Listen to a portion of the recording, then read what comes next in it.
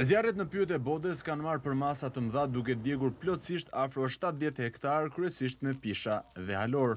Zjarri vijon të jetë me intensitet të lartë prej pesë ditësh duke e bërë tejet të vështirë punën e shërbimit zjarrfikës të bashkisë së Maliqit. Kjo edhe për shkak të terrenit malor dhe erës së fortë e temperaturave të larta. Komandanti i shërbimit zjarrfikës në Maliq, Flamur Mbrakulli, Shprehet se po punohet me kapacitetet maksimale, por zjarri vijon të jetë ende jashtë kontrollit. Është dita e pestë e vatrës zjarrit këtu në Bode. Jemi duke punuar me të gjitha kapacitetet teknike dhe njerëzore. Flakët janë të paparashikueshme, shfaqen nga momenti në moment. Po japim maksimumin. Themi se e kemi vënë për momentin nën kontroll pjesën ku po punojmë neve. Kjo do të thotë se është e domosdoshme ndërhyrja nga ajri? Sigurisht, vetëm ajo është mund të japë ndonjë një rezultat tamam pozitiv. Ne thjesht po e frenojmë.